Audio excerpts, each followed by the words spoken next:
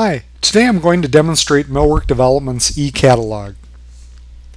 The eCatalog is a visual software for the configuring, quoting, and ordering of millwork products. Millwork Development can create a custom application for a distributor that can include a single product category such as exterior doors, or include a variety of products from multiple manufacturers configured into one easy-to-use application. The eCatalog is available as a desktop application which can be installed from a CD or downloaded from the internet, or as a web-based version which can be run using Internet Explorer on a desktop computer or in a client application on Android, Apple, Chromebook, or Microsoft Surface devices. For a hands-on trial of the desktop or web-based eCatalog, please visit Millwork Development on the web at millworkdevelopment.com. Okay, on to the demonstration. When the eCatalog is started, the user is taken to the home page. The home page is a control center of the eCatalog. From the home page, the user is able to access all of the product modules, utilities, and features of the eCatalog.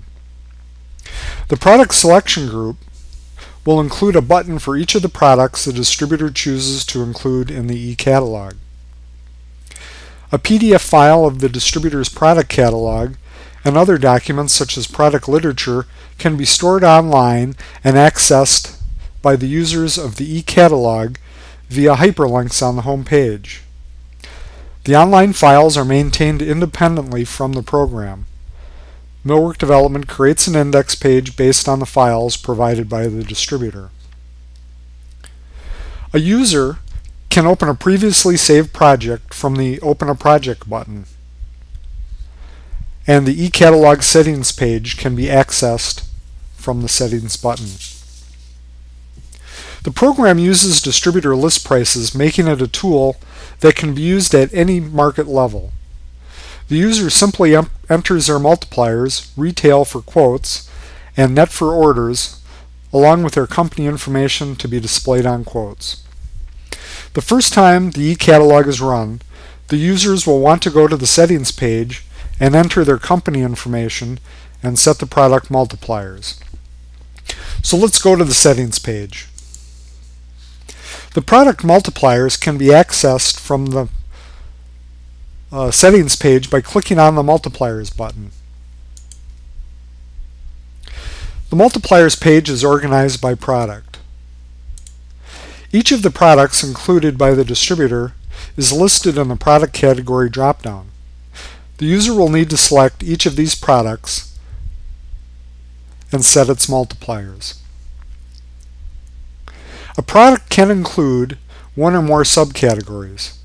Let's select exterior doors and set its multipliers. Enter net, your cost, and retail, your selling price, multipliers for each of the categories. Use the copy first row to all rows to simplify the task of updating all the categories. Once you've entered in information for all the product categories, exit out of the multipliers page and back to the program settings page. The correct multipliers are critical to ensuring the eCatalog displays the correct prices. In the company information area, the user should set the name, address, phone number, email, and website for their company. The user can also import a graphic to display their company logo on the quote form.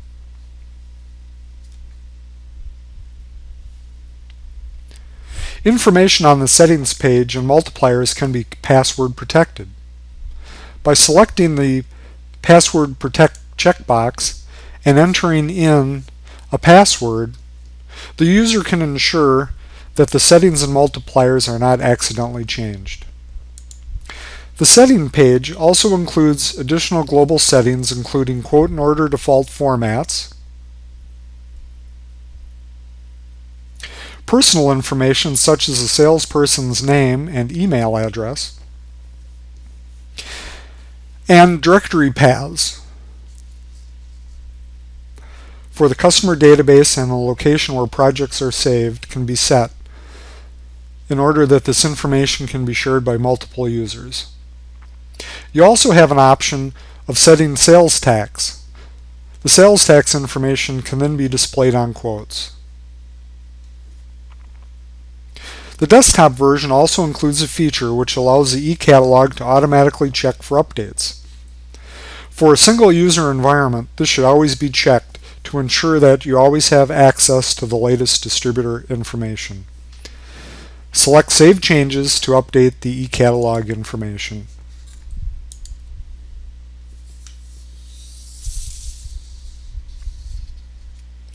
From the home page, the user can enter information specific to the project they are working on, including the name, address, phone numbers, and contact information. The eCatalog includes a customer database to save frequently used customer information. Click on the button next to the ID dropdown to open the customer database form. To add a new customer, click the Add New Customer button.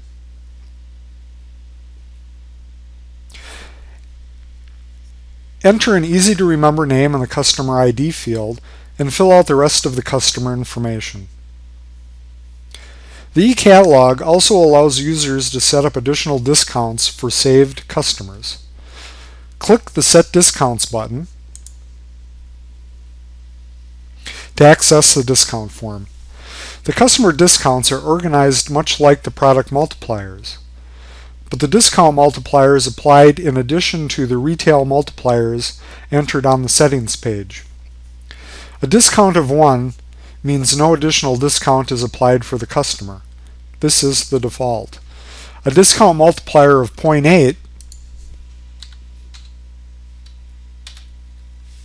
would mean that an additional 20% discount is applied for that customer for the product category selected. Once a customer's information has been entered into the database, it can be easily retrieved from the home page.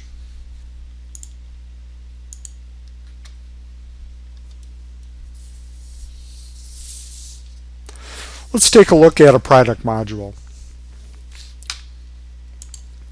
Each product module is specific to the type of product it includes, but they are all designed with some common features. Each product module starts with a pre-configured item based on defaults that are predetermined by the distributor. Usually these are the most common selections. The user simply changes the selections as needed. The product modules have tab controls on the left that make it easy for the user to navigate and make selections when they want to, instead of having to click their way through a series of questions. A detailed image of the configured item is displayed to the right of the controls. The detailed image may include the dimension of the configured product, such as a side view or a top view. A tree view of the item list is displayed on the right. The list shows all of the items that are included in the prod project. Double-clicking on any of the items in the list will open that item, making it easy to navigate and make changes. The description for an item that has not been added to the project yet will be preceded by pending in the list and will be grayed out. Items in the list can be expanded or collapsed to display or hide their information. You can quickly navigate back to an item on the list, click an item on the list, and open it in its product module. Additional features are included in some modules a wizard option to step through to step the user through the selection process, a catalog creator feature that allows users to create their own price pages, and all modules include the ability to add manual line items. Let's configure an exterior door. From the Doors tab, a user can select the door material, fiberglass, steel, or wood, depending on what the distributor offers, door series, glass style, panel style, and other high-level door options. When a user makes a selection, all the other selections update automatically.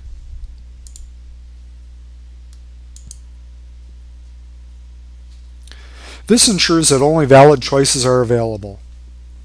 In addition, the detailed image and item list are updated to reflect changes in the product configuration.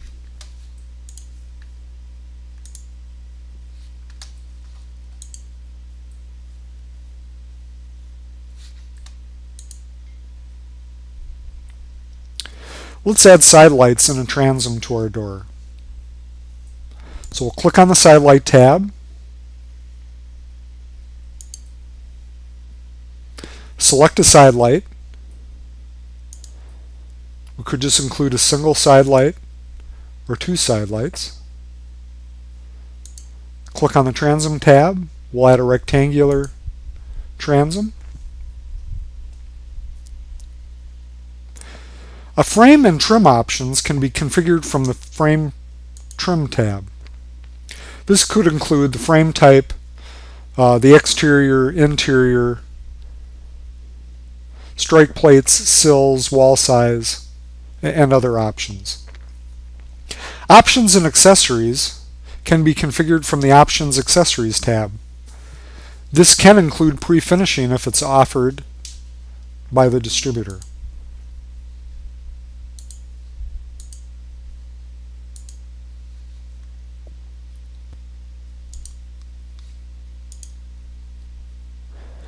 And again, notice how the image and the item list are updated based on the selections. Add a lock set. And again, you can see that the image and the item list are updated accordingly. Okay, now our configuration is complete. Press Add Item to Project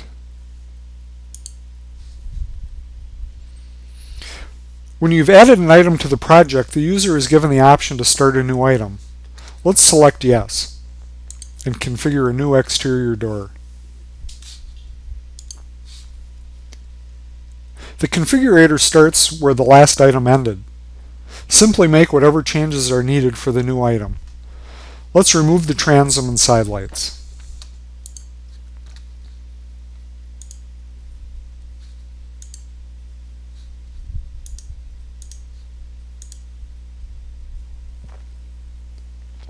Okay, item 2 is now complete.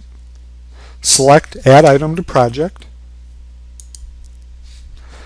Select No.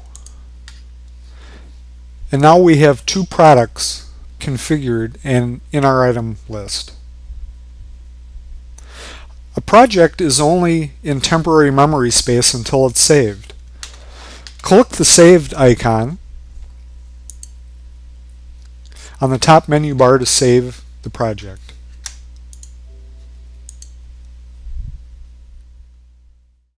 Quote and order forms can be viewed, printed, emailed, or saved as a PDF.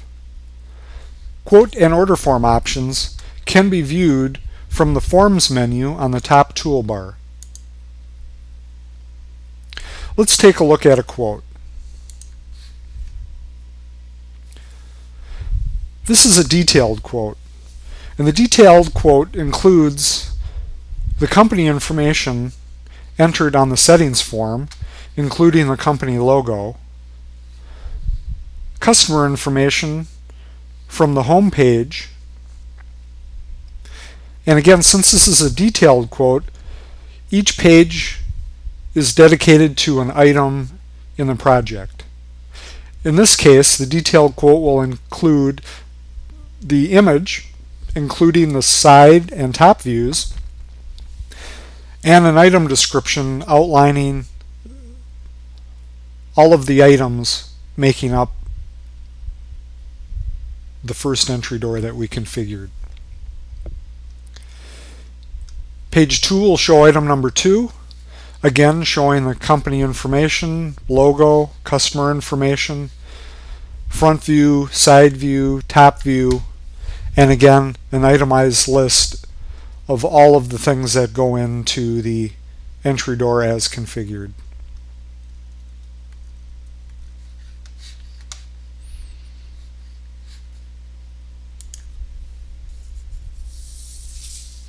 The catalog includes an imaging module that can be used to visualize what a product will look like on a homeowner's house.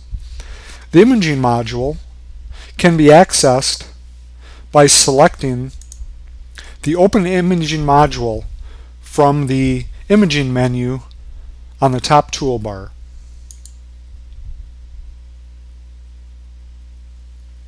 All exterior items in the project will be displayed on the left. Selecting File, New Project opens up a dialog where a saved image of the homeowner's house could be called up. I'm going to select one of the sample homes included in the catalog.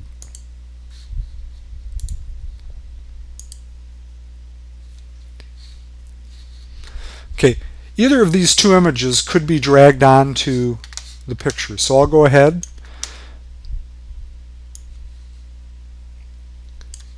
drag and resize and put into place. This image can be saved or printed.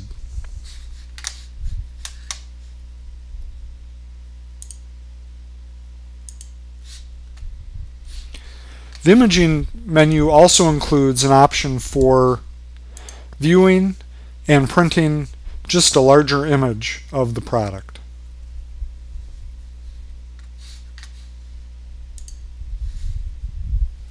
That concludes the eCatalog demonstration.